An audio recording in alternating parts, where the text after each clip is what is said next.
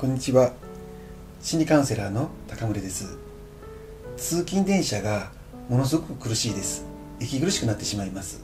という相談を受けることがあります。これは通勤電車そのものが苦痛というよりは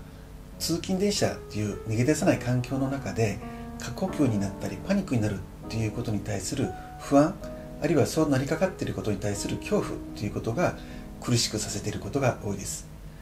ということはこういったパニック発作自体をコントロールできるようになるっていうスキルを少しずつ練習して身につけていくっていうことが一番効果があります。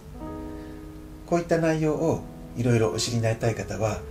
よろしければカウンセラー高村で検索しご覧になってみてください。以上最後までご覧いただきありがとうございました。